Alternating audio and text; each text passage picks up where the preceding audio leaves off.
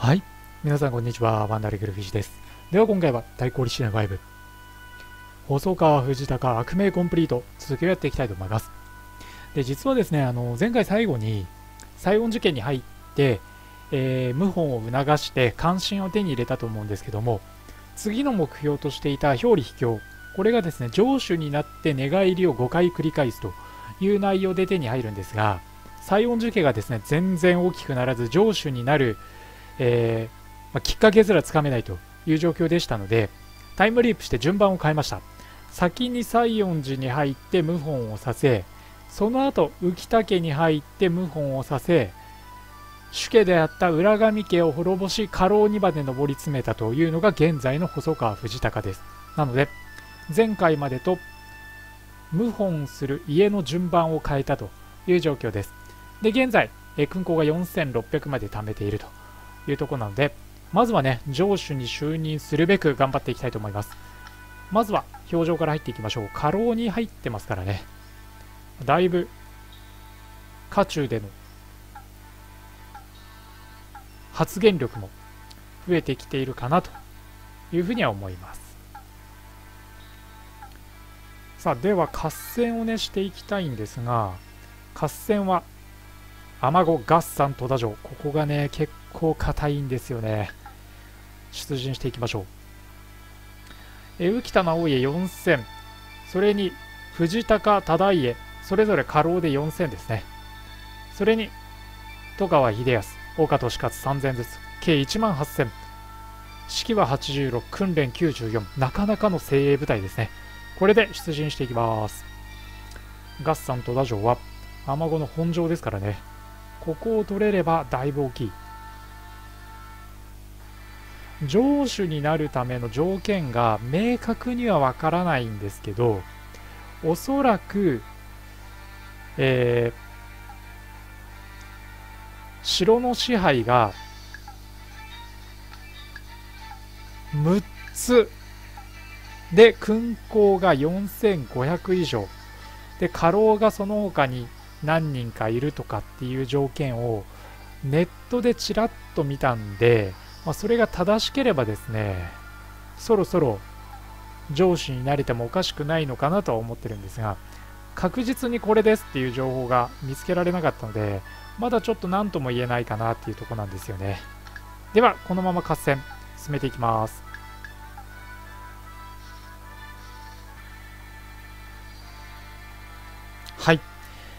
えー、敵が援軍が来ましてこれが1万5000の援軍ですね。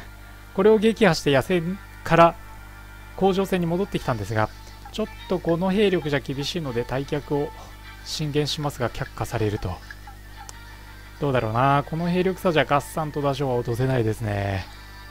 まあ合算と打城はね山城ですが強固なので厳しいですね。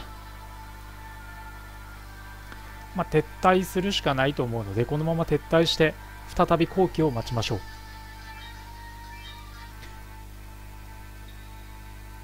合戦の目標をですね。ちょっと変えてガッサンとダジョウは重いのでなんとかガッサンとダジョウじゃないところを攻めたかったんですがガッサンとダジョウを攻めたいみたいですね。再びガッサンとダジョウの攻略戦です。そしたらどうだろうな。岡と死活もいるので甲状腺をサクッと進めてみますか、まあ、軍団の提案で一度交渉は行いましょう。場外退去。ダメか。援軍がね要請できる拠点がないので今いる1万8000で戦わなきゃいけないんですよね。ではこれで進めていきましょう。まあ、モグラ攻めをふんだんに使っていくか敵の数が多くはないので、まあ、あのー、敵のね、兵数を削っていくのがちょっと難しいところだと思うんですけど、まあ、ここは、せっかく岡利勝も、うわ、守備が来た。敵の援軍。このパターンでなんかだいぶ時間使いそうだな。数は ?1 万2000か。多いな。ではここも野戦頑張っていきましょう。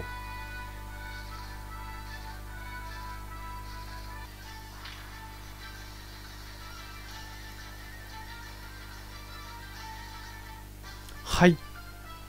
ガッサンとダジョウ攻略ですね。波状攻撃をかけてなんとか落としました、まあ、かなりの兵を失ってしまいましたがこれでまた城を1つ取れたので城主への道が一歩前進ですね。軍師統率プラス6手に入れています。本当はねあの武力を上げたいんですけどね。この後人切りをたくさんしていかなきゃいけないので。ではえっと城の数を確認しましょう。浮田が支配してる。城の数ですね。えまず岡山城1つでしょ。うさらに2つ。天神山で3つ。光月城で4つですね。で三つ星城で5つ。備中高松城で6つ。で合算戸田城で7つになりましたのであとはこの毛利を攻めるか備中松山城毛利ですね。もしくは雨子を滅ぼしておくか、まあ、そういう意味では一度連兵所に忍び込んで戦力情報を確認しておきましょう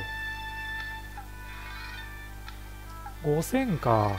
兵の数5000だったら、もみつぶせそうな気はしますけどね。備中松山城に行くのか、上市城で雨子を滅ぼすのか、ちょっと検討ですが、雨子を滅ぼすとどうなんだろう。今、筆頭家老の地位が確保していますけど、雨子の家臣団が入ってくると、一気に2番家老、3番家老になってしまう可能性があるんで、そこは要注意ですね。では、時間を進めていきます。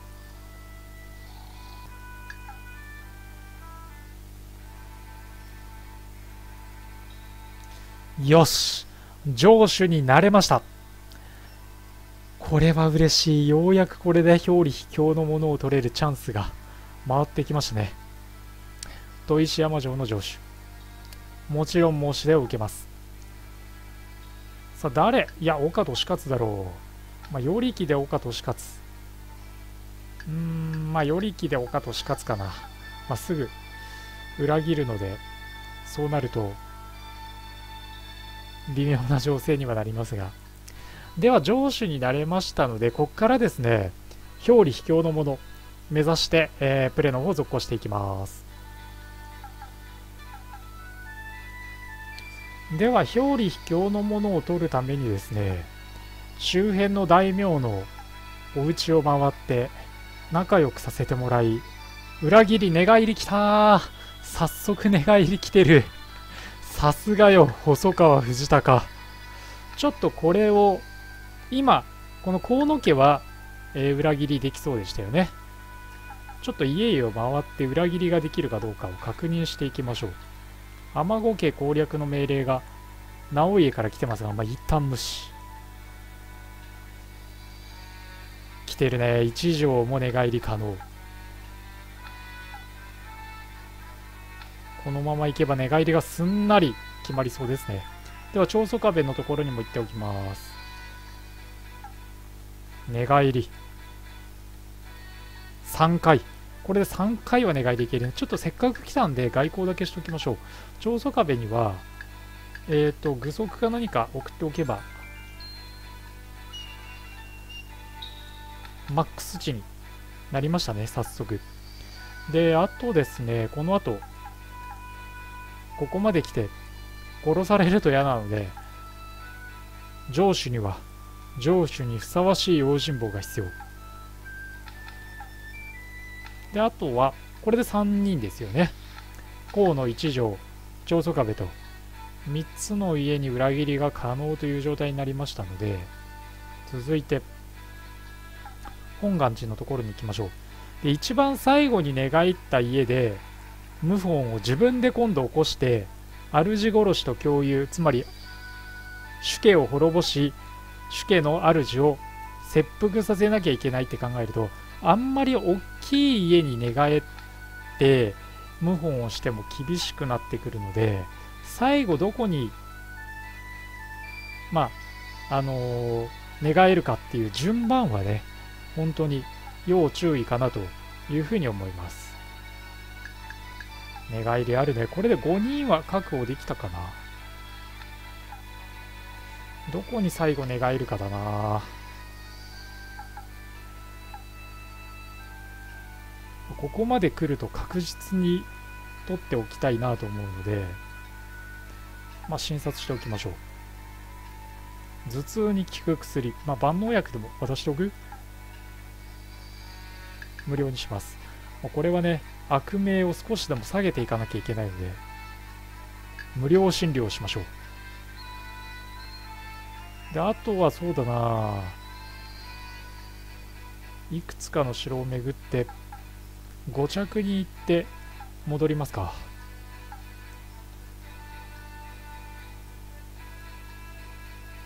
さすがに、お初の小寺正元さんは寝返らしてくれないで。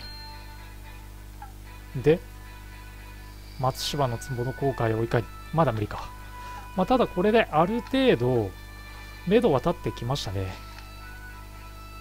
なので、寝返りの順番をちょっと検討しましょう。今、あの、ご覧いただいた流れでいくと、まあ、ほとんどの家で寝返りができることが確認できましたので、まあ、最後に大きい三好とかに寝返って三好を滅ぼすのは大変なので、まあ、三好はないかなと考えると、そうだな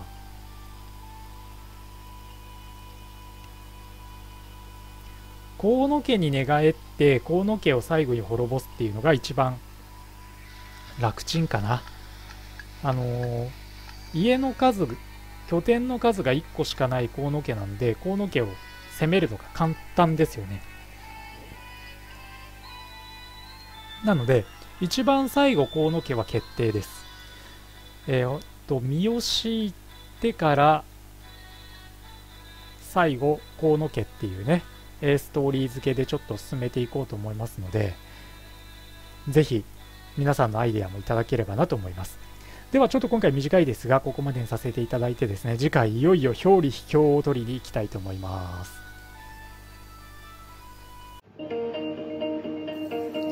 はい。最後までご視聴ありがとうございました。